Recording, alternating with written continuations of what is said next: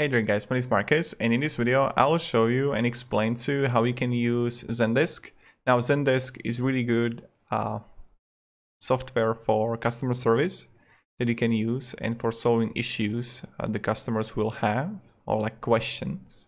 Now Zendesk is pretty straightforward tool that you can use for solving all the tickets that you need. Now how to do it and how to use it. So when you're gonna enter Zendesk you can go through the get started and how you can work with it, how you can add it to your website, etc. But the most juicy stuff is under home, the views. In views, you will be able to see all the tickets that are unsolved. So let's say you're going to have a form on your website and you're going to connect Zendesk with the form. So automatically when there is going to be a ticket, you will see it right here. First, you can we will I will show you how you can change the views here. So I'll unsolved tickets recently updated tickets, everything.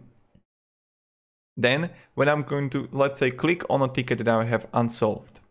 On the left side, you will be able to see a requester, that's the customer. So let's say someone is going to fill up the form and uh, that's him or her. Then assignee, select assignee, support. You can have plenty of like groups here or uh, just automatically one person. I'm going to take it by myself so let's say that you can take it or you can select assignee. So like this one here or this one here.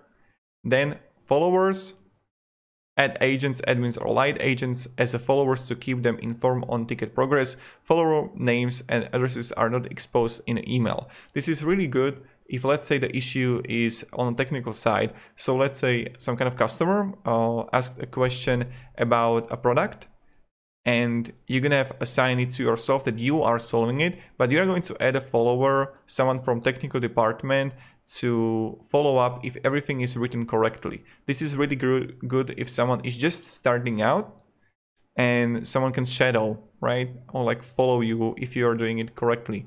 And then you're gonna see the tags here that you can actually add. Tags are really good. Let's say it would be technical. So let's say i would add a tag like this. So I can search and filter all the technical tickets that I solved uh, because I can have there are some good answers that I can just copy and paste and so solve it more quickly. Now, this is how the left side works. Then, when you want to reply to uh, the customer right here, I can just start writing, hi there. Thank you for writing up. And here I am gonna see the public reply. I can enter a number. I can have an internal note for myself and for the team I can add about this customer. As you can see, I can format the text. I can add the emoji. I can simply add attachments or I can add a link. Now, uh, the next thing under it is apply a macro. This is some macro. This is something that I will show you how we can do. So I can shift and enter how it looks like. We're currently experiencing usually high traffic. We'll get back as soon as possible. See? Or I can apply macro, customer not responding. Hello, the customer, our agent has tried to contact you. And I'm going to also show you how we can create the macro. It's really easy and really simple. So Thank you for writing up. And then on the right side, you would see the profile. What you can do also on the right side, you would see the three dots. You can create as a macro. You can merge in another ticket. You can mark it as a spam or you can delete it or you can print the ticket. So what I could do is create it as a macro. Let me show you. And here I would add a macro name, description, action. We will get to it. I don't want to uh, jump from one to things because I want to show you how we can do everything, right? So in a ticket, when I'm going to show, click on a ticket, you can see the profile here of the customer and interactions, what was actually happening on this ticket. Let me show you. Then I'm going to click it back. On the bottom right, you would see that you can close the tab, next ticket in view and stay on the ticket. So what will happen when I'm going to submit, submit as a solved, pending or open? It will close a tab, then I will have a next ticket in view or I'm going to stay on a ticket. So these are the options. So I can have it submit as solved, submit as a pending, submit as open. See? Then I can have it submit as a pending. Or submit as open completely up to you how you do it. So this is how we can make it. Now, but what you can do is also is next to the, the customer, you're going to see the add. You can add a new ticket, user, organization, or search. I can simply add a new user, but we'll get to it. You can do it also in settings, or you can simply add a new ticket and you can create a ticket by yourself. Right? So I can add a user, name, email, end user or if it's a staff member and have a ticket directly created by me. So not just being connected with, uh, let's say, a form on a website, but on Zendesk directly. So this is how we can do it. Now, when we go even further on settings, and settings are really important when you want to use Zendesk, you would go to people to manage, and here you can simply add a user, you can add a group or organization, so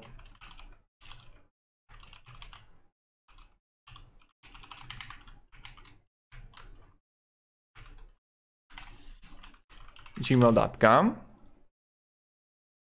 see and this is the user. I can simply create a new ticket on it. Subject let's say there will be technical difficulty one to three public reply, submit as a new. Then let's say I would go uh, to tickets right here and see recently updated tickets, technical difficulty. And it would be from me. Then always when I'm going to submit it, I can submit it as a new open pending solved. Completely up to you, right? When I'm going back to the settings, I get to see the people here, the user fields. User fields, you're gonna have the active fields that you have here that you can use. And you have option to add drop-down list, text, multi-line text, numeric, decimal, checkbox, regular expression date. So let's say I'm going to add a checkbox. What is the title shown to agents? Let's say there will be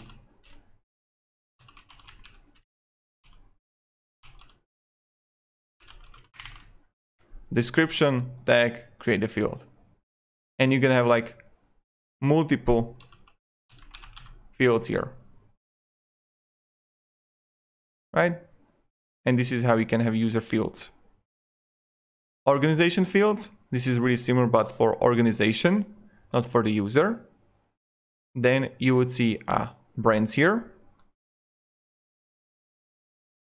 Views. Now views this is what I was mentioning up. When you would click on the views here, this is something that you can edit in settings, in views.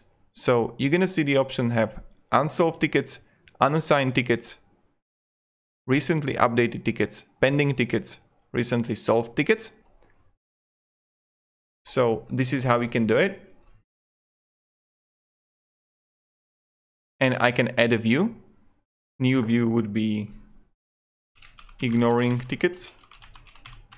These are the ones that I am not going to solve, even who has, who has access any agent conditions. I can add a condition if it's going to be organization that it's always going can be in that view. Tickets can meet any of these conditions to appear in this view. So if it's going to be that thing, it can appear in the view. Then formatting options of the view.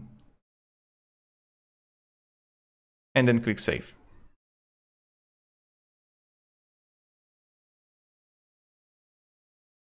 So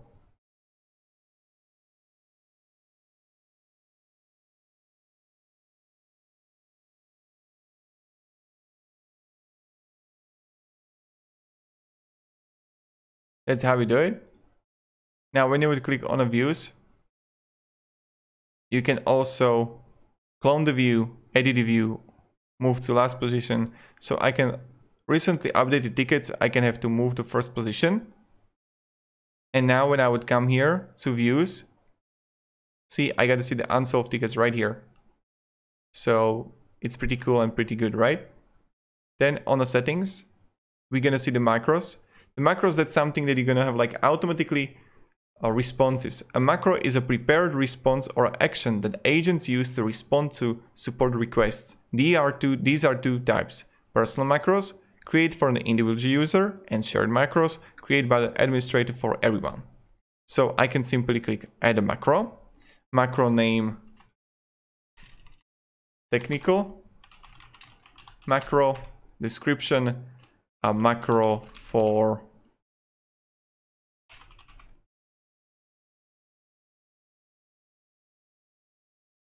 So this is macro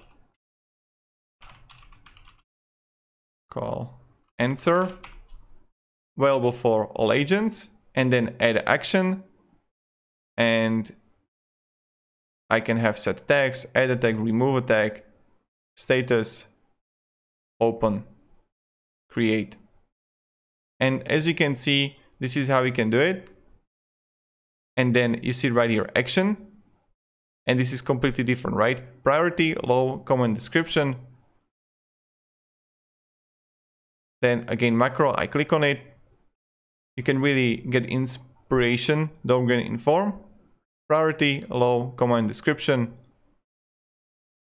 So I can go again the same style.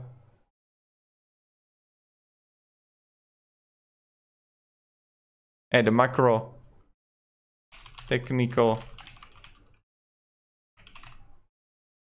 add action, priority, low, comment description, and thanks for writing to us. We will look into it how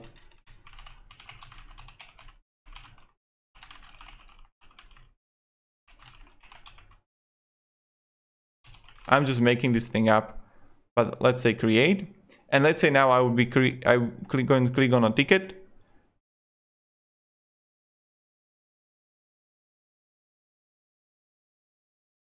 And here you would be able to see the tickets. But you need to like refresh the websites to see it. So this is how we can create the macros. Then you're gonna see the tags here. And then you're gonna see tags are words or combinations of words you can use to add more context to tickets and then you would click on a ticket and you see on which one it was used. So this is really great here to filter it. Ticket fields, again, you can add a field here. So you can have assignee, group, priority, type, status. Ticket form, really similar to, I can add a form here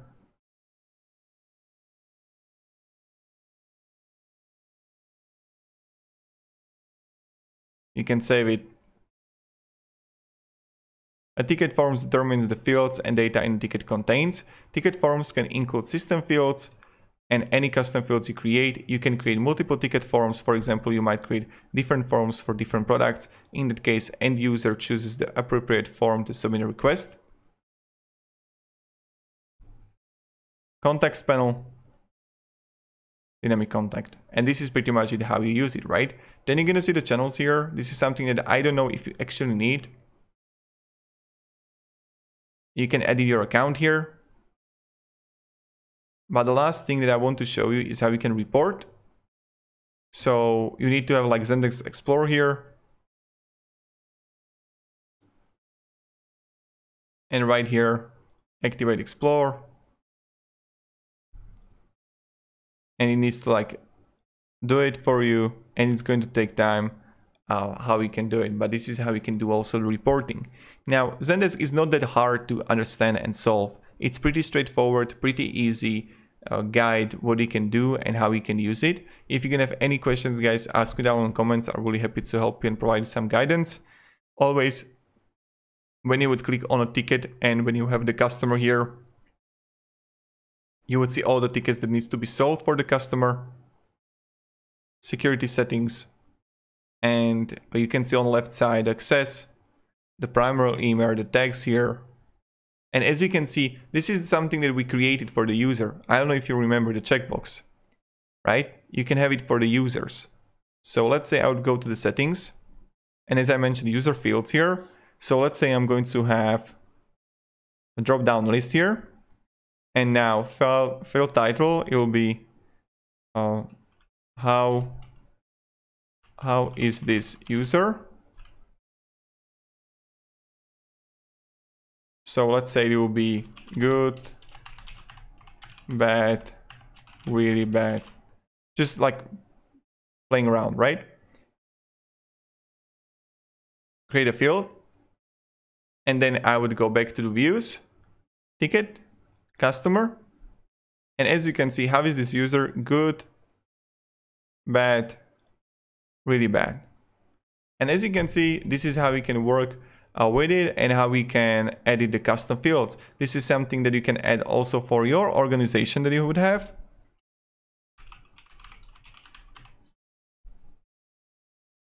See, so we have the organization right here. This is something, let's say that someone would, you would have a form with the customer and also for the organization. And you could create simply the organization field exactly the same as for the user field. So in the settings, I would click and I would click on the organization fields and I could have a, let's say checkbox create a field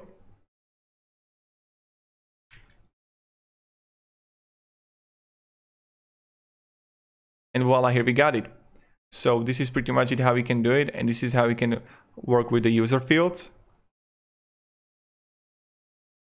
and the same with the macros. But when I'm going to have the technical difficulty here,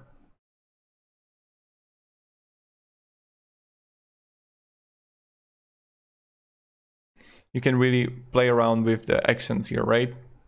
So if the status is open, can you go to tickets